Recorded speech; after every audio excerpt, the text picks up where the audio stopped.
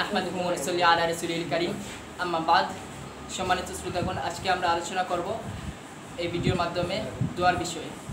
তো দোয়ার বিষয়ে বিষ্ণু সাল্লাহ সাল্লাম বলেছেন যে দোয়া মুখল ইবাদা দোয়া হচ্ছে ইবাদতের নির্যাস সেই জন্য আমরা যাতে আল্লাহর কাছে বেশি বেশি করি দোয়া করি। এবং কেয়ামতের দিন অনেক মানুষ আক্ষেপ করবে যে, আমরা পৃথিবীতে থাকতে আরও আরও কেন দোয়া করলাম না? সে বিষয়ে সেটির দিকে লক্ষ্য করে কেয়ামতের দিন এক শ্রেণির লোক কিন্তু অনেক আক্ষেপ করবে। কারণ আমরা যা পৃথিবীতে দোয়া করি, সবই কিন্তু আল্লাহ দোয়া কবুল করে এবং আল্লাহর দোয়া কবুল করা কিন্তু তিনটি ক্যাটাগরি আছে। তো তার মধ্যে প্রথম ক্যাটাগরি যেটি, সেটি হচ্ছে যে আমরা দোয়া করলাম, আল্লাহর সঙ্গে সঙ্গে দিয়ে দিলেন, ফলে আমরা খুশি হলাম। তারপর দ্বিতীয় যে ক্যাটাগরি হচ্ছে, সেটি হচ্ছে আমরা আল্লাহর কাছে দোয়া করলাম। কিন্তু আল্লাহ বলে যে, আল্লাহ বর্তমানে না দিয়ে পরে দেয় আল্লাহ কোন সময় আমার জন্য ভালো হবে সেটি কিন্তু আল্লাহ জানে, খুবই ভালো কিন্তু আল্লাহ জানে। সেই জন্য আমার জন্য যে সময় ভালো হবে সে সময় আল্লাহ পরে দিয়ে দেন এই দোয়া দোয়াটি কবুল করেন এবং তৃতীয় যে ক্যাটাগরি সেটি হচ্ছে যে আল্লাহর কাছে দোয়া করলাম, আল্লাহ বর্তমানেও দিলেন না, পরেও দিলেন না, তাহলে কোন সময়? ওই যে কেয়ামতের দিন অনেক কঠিন মুসিবতের সময়, ওই সময় কিন্তু আল্লাহ এই দোয়াটি কবুল করবে। সেই জন্য আল্লাহর কাছে বেশি বেশি করে আমরা কিন্তু দোয়া করি এবং একনিষ্ঠতার সাথে আমরা বেশি বেশি করে যাতে আল্লাহর কাছে দোয়া করি। এই যে একনিষ্ঠতার সাথে যদি আমরা দোয়া করি এই যে মিসাইল আমরা যে এই মিসাইল কিন্তু গিয়ে মিস করবে। কিন্তু আমরা যদি একনিষ্ঠতার সাথে যদি দোয়া করি কিন্তু আমাদের দোয়া কিন্তু আরও শিখিয়ে নক করতে সময় সেকেন্ডও সময় লাগবে না। সেই জন্য বেশি বেশি করে আমরা একনিষ্ঠতার সাথে এখলাসের সাথে দোয়া করি। সিনসিয়ার দোয়া is like a missile sincere দোয়া হচ্ছে মিসাইলের মতো।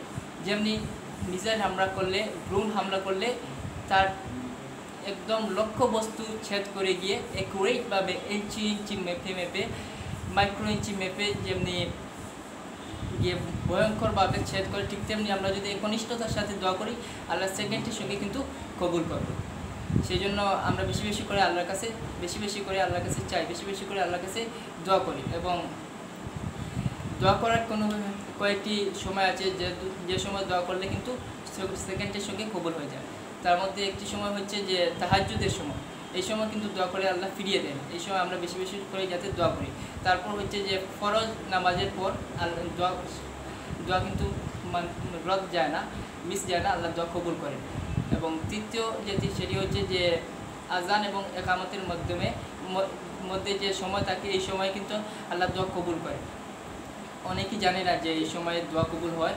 তো সেই জন্য এই সময়ের ভিতরে আমরা যদি দোয়া করি আজান এবং আকামতের সময়ের ভিতরে, তাহলে আল্লাহ কিন্তু মিস আল্লাহ কিন্তু সঙ্গে সঙ্গে কবুল করে দেয়।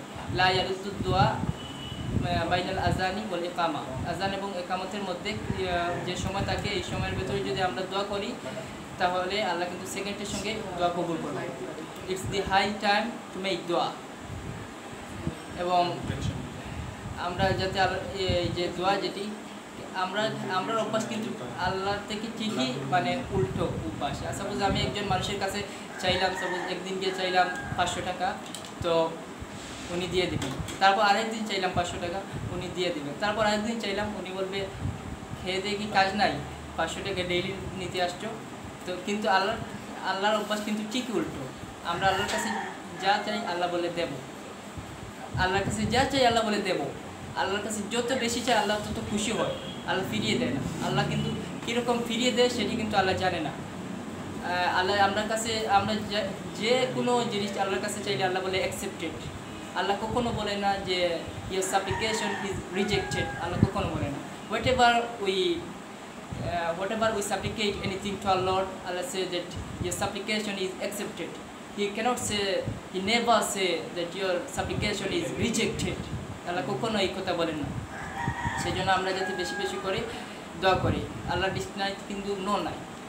আল্লাহ যে আমরা যা চাই আমরা আল্লাহ বলে ইয়েস দেব। আমরা যে সময় যে মুহূর্তে চাই আল্লাহ কিন্তু বলে দেব।